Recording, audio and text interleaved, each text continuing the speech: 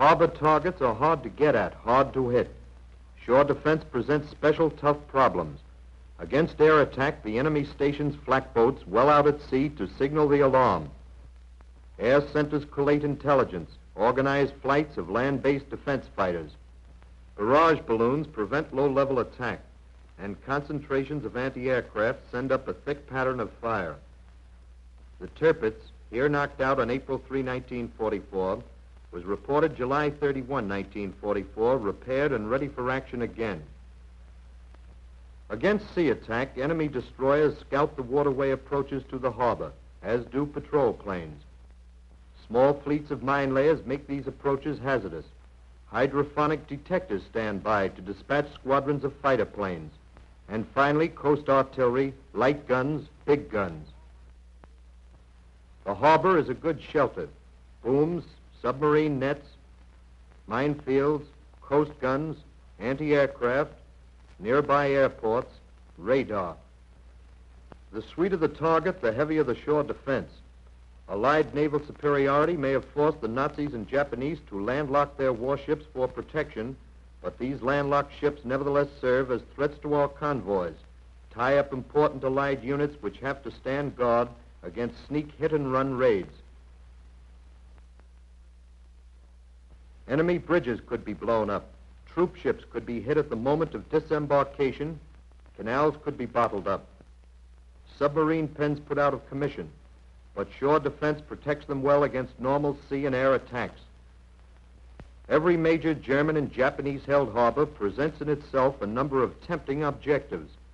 All these and many more are choice targets, and yet to date shore defense makes it difficult to destroy them without disproportionately expensive losses in men and equipment. In the spring of 1944 at Chesapeake Bay, a different form of attack was tested involving a single missile, which, using special OSS techniques, could get through enemy harbor barriers by deception, which could be precisely controlled to a specific target, and which, operating without personnel, would be expendable. Purposes of this test, two men are used to take the motorboat out to its point of rendezvous with the plane. The plane carries on board the Campbell operator, who alone will control the motorboat, even though he will be miles away when rendezvous is established. The boat is a 34-foot A2 Hacker craft with a low silhouette. Powered by a 550 horsepower engine, it can do 35 miles an hour for a range of 220 miles while carrying a maximum load of 5,000 pounds of explosive. The range can be extended by adding gas tanks. The craft is a projectile. It carries no personnel. In addition to its explosive charge, it has a radio control receiver and a television transmitter. The television camera, housed in the white box on the bow, is standard Army Air Forces portable equipment. In this test, a plane is used as the control. All the equipment the Campbell operator needs is a television receiver, including the screen, and a radio transmitter. Instead of the plane, the operator could be in a mothership, a submarine, another motorboat, or at a concealed position ashore. Rendezvous is established. The operator studies his screen, now takes over control.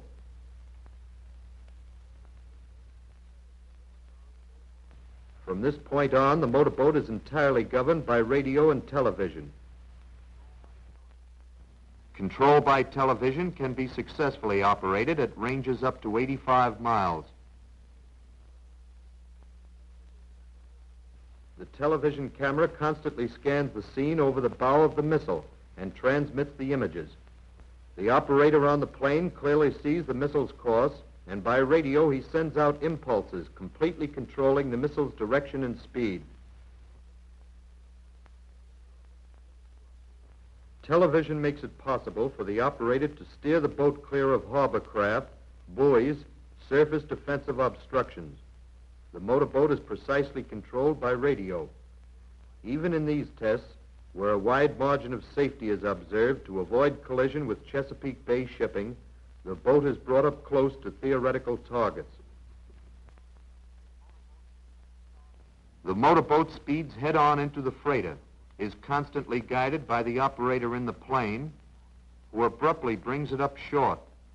Another shot, camera this time aboard the target.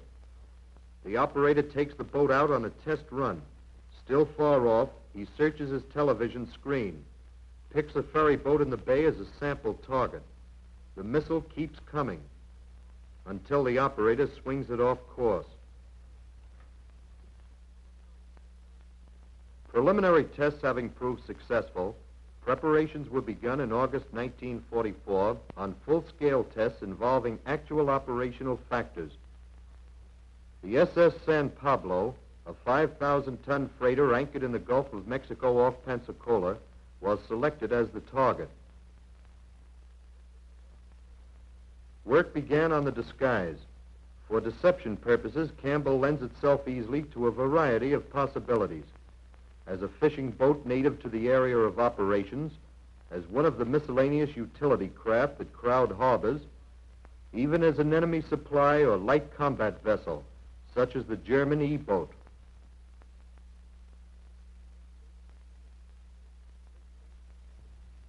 In this case, the Hacker was converted into a rusty, weather-beaten Danish Spritzel fishing boat.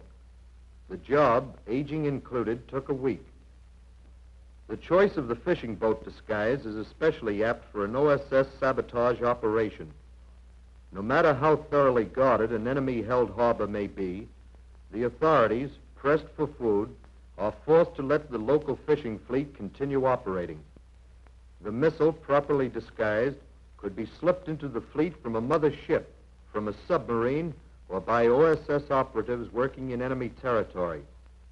Once inside the harbor, it would be guided by remote radio television control into the target.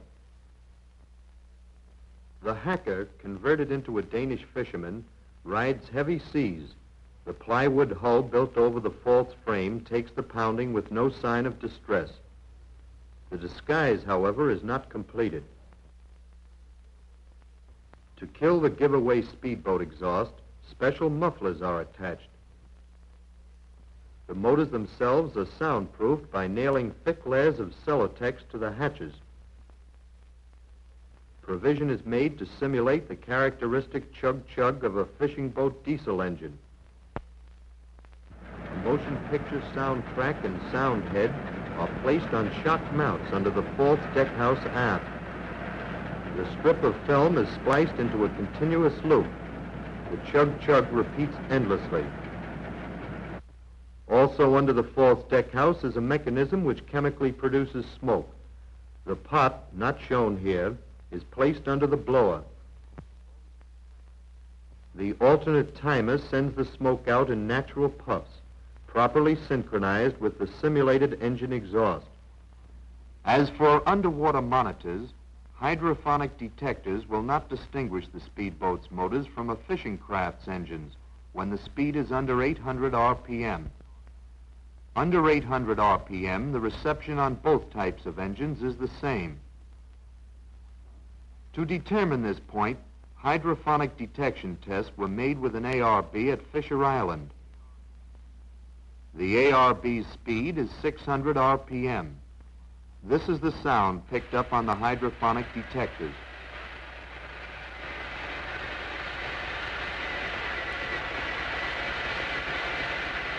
All boat traffic in the vicinity was stopped for purposes of these tests.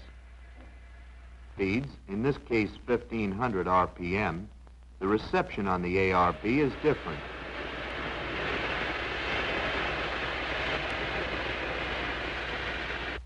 Now at 2500 RPM.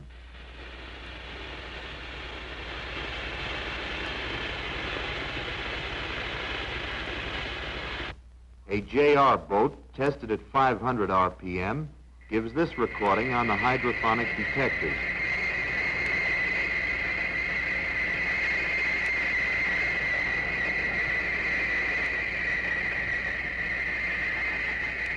JR at 1,000 RPM.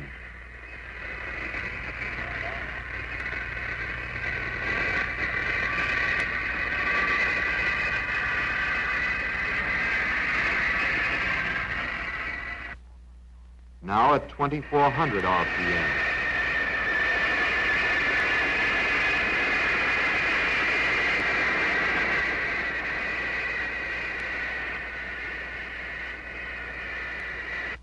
The disguised missile will of necessity be making its approach to the target at the normal speed of fishing craft, which of course is well under 800 RPM. At such speeds, hydrophonic detectors, as demonstrated, will not differentiate the speedboat's motors. When the missile goes over 800 RPM, it is on its target run, and the necessity for disguise no longer exists. To get back to the Danish fishing boat K-354, Emil firmly grasps the tiller and the disguise is finished. Behind the plywood, the serious business begins of fitting into place the high explosive charges. The pin-up device might be called the nose of the projectile. It works on the principle of a double-barreled pistol. Fixed on the concealed boom, it's the first to hit the target.